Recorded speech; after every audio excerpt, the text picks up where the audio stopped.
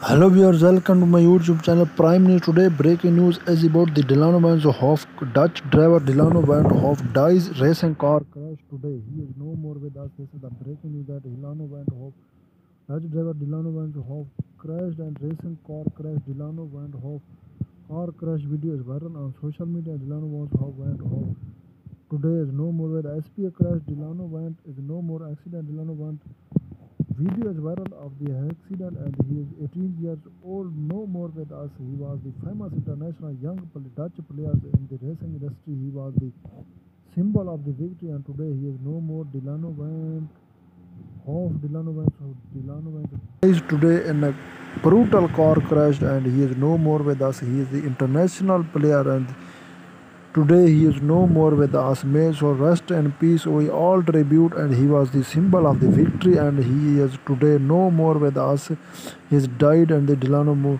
and dies today in a brutal car crash accident. The international racing he was no more with us.